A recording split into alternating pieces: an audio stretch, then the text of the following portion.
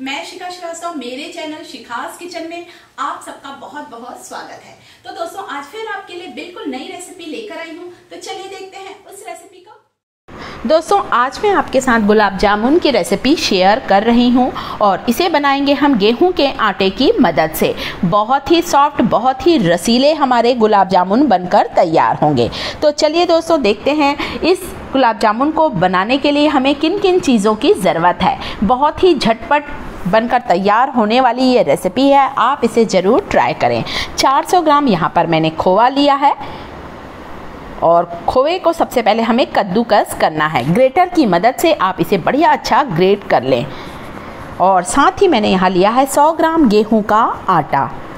मैदा डालने से कई बार हमारे जो गुलाब जामुन होते हैं वो अंदर से हार्ड हो जाते हैं और चाशनी भी अंदर तक नहीं जा पाती है। परंतु गेहूँ का आटा लेने से हमारे जो गुलाब जामुन है वो अंदर तक नरम बनते हैं और चाशनी भी अंदर तक के बहुत अच्छी तरह से चली जाती है। तो यहाँ पर मैंने 300 ग्राम के करीब शक्कर ली है। जितनी शक्कर ली है कटोरी भरकर उतना ही आपको पानी लेना है। और बस इसे हमें गैस पर उबलने रखना है। गुलाब जामुन की चाशनी बहुत ज़्यादा गाढ़ी नहीं बनाई जाती। दोस्तों, जैसे ही चाशनी में उबाल आए, हल्का सा चिपचिपापन आए और आप गैस की फ्लेम को फिर बंद करेंगे।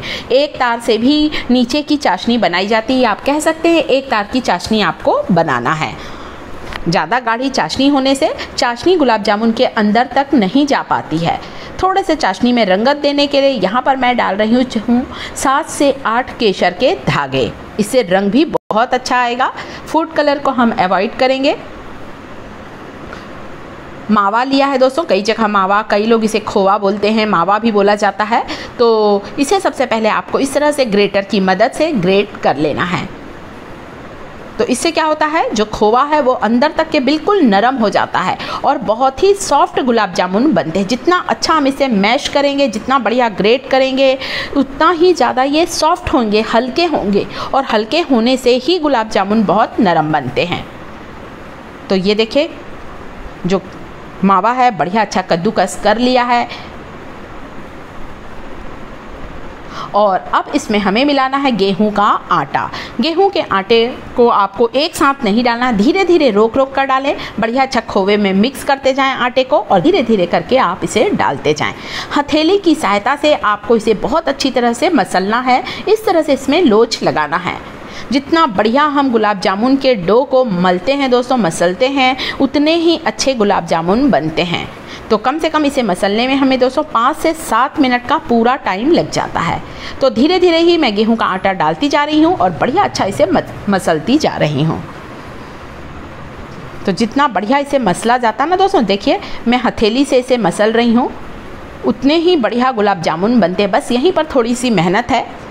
तो आप एक बार मेरे कहने से गेहूँ के आटे की मदद से आप गुलाब जामुन ज़रूर बनाएँ, बहुत ही बढ़िया बनते हैं। तो अब गुलाब जामुन का ये जो डो है, बढ़िया अच्छा सॉफ्ट हो चुका है। आप देख सकते हैं, बढ़िया अच्छा इसमें फूलापन आ गया। मैंने इतना अच्छा बढ़िया इसे मसला है दोस्तों, बढ़िया अच्छा फूलापन आ गया है। एक दो बार और भी इसे मसल लेती हूँ, ताकि और भी मुझे इसमें हल्कापन दिखाई दे। तो गुलाब जामुन तो दोस्तों सभी के पसंद के होते हैं, चाहे बच्चे हों, चाहे बड़े हों, चाहे बूढ़े हों। सबका फेवरेट स्वीट डिश होती है गुलाब जामुन और घर कर, पर जो बनाते हैं दोस्तों उसकी तो बात ही अलग है। तो ये डो जो है वो बढ़िया अच्छा बन चुका है। अब हमें इसकी छोटी छोटी लोई बनाना है। बहुत से घरों में बहुत छोटे छोटे गुलाब जामुन खाते हैं और कई घरों में थोड़े बड़े साइज़ के बनाए जाते हैं। तो आप अपने पसंद के अनुसार लोई का साइज़ रख सकते हैं। इस बीच चाशनी देख सकते हैं। चाशनी बढ़िया अच्छी उबल चुकी है। तीन से चार मिनट ही आपको इसे उबालना ये देखिए, हल्का सा चिपचिपापन आया। बस, अब हम गैस की फ्लेम को बंद करेंगे और चाशनी को एक साइड रख देते हैं। बहुत उबलती हुई चाशनी में हमें गुलाब जामुन नहीं डालना है दोस्तों तो चाशनी का काम पहले कर लें और अब हम इसकी लोइयाँ तैयार करेंगे। तो चाकू की मदद से आप अपने घर के अनुसार छोटे या बड़े गुलाब जामुन की लोई काट सकते हैं। तो मैं यहाँ पर मीडियम साइज़ के ही बना रही हूँ, बहुत छोटे भी नहीं और बहुत बड़े बड़े गुलाब जामुन भी नहीं बना रही हूँ। तो बढ़िया एक एक लोई को उठाते जाएँ, खूब अच्छी तरह से हाथों से इस तरह से गोल करें, बिल्कुल टाइट बांधे दोस्तों, गोली ऐसा नहीं हो कि थोड़ी खुली खुली सी हो क्रेक्स हो, ये नहीं होना चाहिए।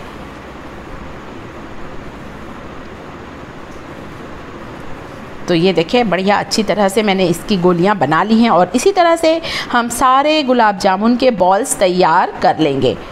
और यदि चाशनी ठंडी हो जाती है दोस्तों, बनाते बनाते तो आप उस चाशनी को हल्का गर्म कर लें। ये ना सोचें कि एकदम ठंडी चाशनी में आपको गुलाब जामुन को डालना है दोस्तों तो मेरे यहाँ थोड़ा टाइम हो गया था, इसलिए मैंने चाशनी को हल्का सा फिर से गर्म कर लिया है और बस, अब गुलाब जामुन को हम तलने रखेंगे। जैसे ही गुलाब जामुन को तलें दोस्तों, तुरंत ही तलने के बाद आपको इसे चाशनी में डालना है। तो आप चाहें तो तलने के लिए घी भी ले सकते हैं या कोई भी रिफाइंड ऑयल भी ले सकते हैं। तो यहाँ पर मैंने रिफाइंड ऑयल डाला है। फ्राई करने के लिए और छोटा सा टुकड़ा डालकर देखा है गुलाब जामुन का, बिल्कुल छोटी सी गोली कि फूट तो नहीं रही है दोस्तों। कई बार खोए में भी कई परेशानी होती है या अच्छा नहीं होता है तो कई बार गुलाब जामुन टूटने सा लगता है। तो आप देख सकते हैं, बिल्कुल भी बॉल जो है, वह टूट नहीं रही है। तो अब हम इस रिफाइंड ऑयल में एक एक करके सभी गुलाब जामुन डालेंगे। तलते समय गैस की फ्लेम का ध्यान रखें। स्लो फ्लेम पर ही आपको इसे फ्राई करना है। कभी भी तेज़ आँच ना करें। क्या होता है दोस्तों, गुलाब जामुन यदि हम बहुत हाई फ्लेम पर तलते हैं या मीडियम फ्लेम पर भी तो गुलाब जामुन तल तो जाते हैं ऊपर ऊपर से, परंतु अंदर से उनमें कच्चापन रहता है। इसलिए स्लो फ्लेम पर ही इसे फ्राई करें। आप देख रहे हैं, मैं इस तरह से तेल हल्का हल्का सा चम्मच की सहायता से उछालती जा रही हूँ ताकि अच्छी तरह से ये फ्राई हो सक, हो जाए। तो जो गुलाब जामुन अभी सुनहरे नहीं हुए हैं, उन्हें मैं अच्छा सुनहरा कर लेती हूँ। और इसी तरह से सारे गुलाब जामुन को आपको फ्राई करना है, ये देखिए। बस इस तरह सा जो कलर दिख रहा है, आपको ऐसा कलर हमारा आना चाहिए। तो बस तलते जाना है और गुलाब जामुन को आपको इसी तरह से हल्का गोल्डन करते जाएँ और गरम गरम निकाल के तुरंत ही चाशनी में डालें। और चाशनी मान लीजिए दोस्तों, अगर ठंडी हो जाती है तो हल्का सा गर्म करना बिल्कुल ना भूलें। जितना अच्छा गुनगुनी चाशनी में आप इसे डालते हैं या हल्की गर्म चाशनी में डालते हैं, उतनी तेज़ी से ही गुलाब जामुन चाशनी को सोख लेते हैं। बीच बीच में इसे हिला दें ताकि एक तरफ़ से चिपकने ना पाए दोस्तों। गुलाब जामुन तलते समय हमें यहीं पर खड़े रहना पड़ता है। हम साथ में कोई दूसरा काम नहीं कर सकते। आप देख रहे हैं, मैं भी इसे हिलाती जा रही हूँ।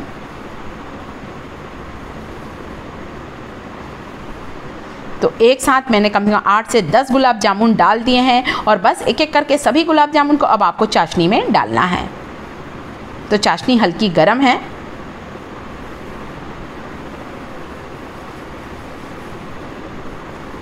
थोड़ा सा इसे अच्छी तरह से हिला लें। और बाकी के गुलाब जामुन भी हमें इसी तरह से तलते जाना है और इसमें डालते जाना है। अब आप देख सकते हैं, बहुत बढ़िया कलर आया है। बस ऐसे ही हमें तलना है।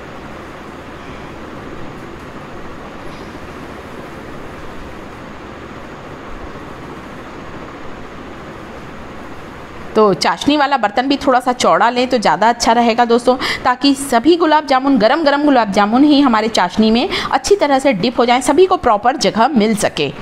और यदि और भी ज़्यादा गुलाब जामुन है दोस्तों तो नीचे के गुलाब जामुन जो कि थोड़ी देर पहले डले हैं, उन्हें आप थोड़ा ऊपर निकाल लें और नए तले हुए गुलाब जामुन को आप चाशनी में नीचे नीचे डालें ताकि अच्छी तरह से चाशनी को वो सोख सकें। तो आप इसे थोड़ी देर के लिए तो छोड़ दें, कम से कम आधे घंटे के लिए चाशनी में डूबे रहने दें, परंतु यदि बच्चों का घर है, तब तो बच्चे बहुत ही जल्दी करते हैं गुलाब जामुन को खाने की। तो आप देख सकते हैं, मैंने भी इसे थोड़ी देर के लिए छोड़ दिया है, मेरे यहाँ भी बच्चे इसे खाने की ज़िद्द कर रहे हैं। तो बस बढ़िया हमारे हमारे गुलाब जामुन बनकर बिल्कुल तैयार हैं। तो अब आपको मैं इसे सर्व करके दिखाती हूँ कि कितने नरम नरम से हमारे गुलाब जामुन बने हैं। ये देखिए दोस्तों, बहुत ही अच्छे गुलाब जामुन बने हैं। आप इसे ज़रूर ट्राई करें और गेहूँ के आटे की मदद से ही बनाएँ। अंदर तक के नरम और बिल्कुल ही चाशनी पिए हुए हमारे गुलाब जामुन रहते हैं। तो इसे ट्राई करें और साथ ही कमेंट मुझे ज़रूर करिएगा कि वीडियो आप लोगों को कैसा लगा।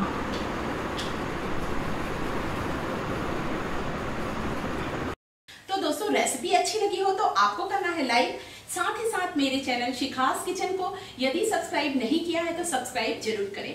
साथ ही कमेंट करके ज़रूर बताएँ कि वीडियो आप लोगों को कैसा